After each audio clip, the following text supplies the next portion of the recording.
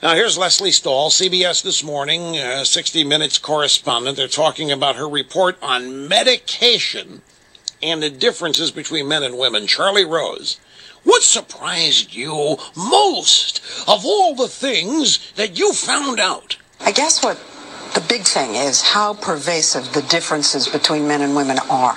It's not just that we metabolize medicine differently. Our lungs are different. Our cells are different. Our skin is different.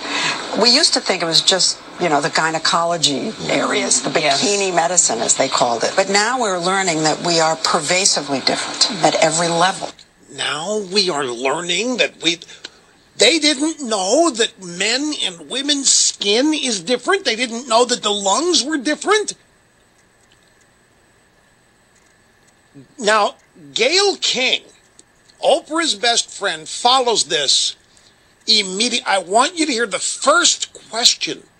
It's the first words that you will hear in this soundbite coming up. You just heard Lesley Stahl we didn't know how pervasive the differences between men and women are.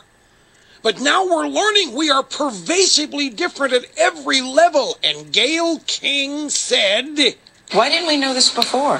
You know, that's a great question because research is done uh, originally on animals. Mm-hmm. And they use only male animals mm-hmm. to this day. Mm-hmm. Now, they used to only have male in the human studies, but now they have females in the human studies. Mm-hmm. However, instead of seeing how women react versus how men react in the study, they put them all together and take the average. Remember what we talked about yesterday? How is it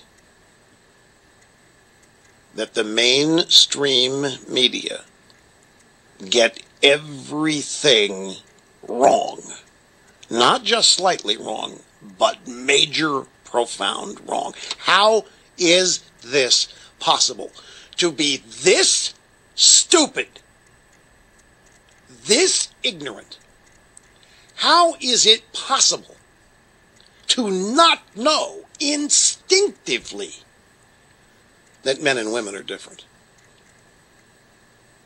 Why is that such shocking news that Gayle King says, why didn't we know this before? Norah O'Donnell, who is a CBS uh, info babe, and Lesley Stahl wrapped it up with this exchange.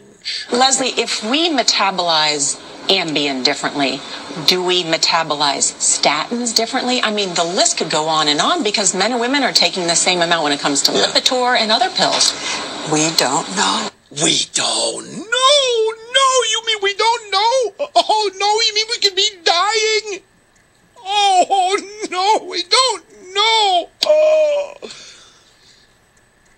I, I, folks, this is simply. I, I, don't, I don't know how to describe it. This is just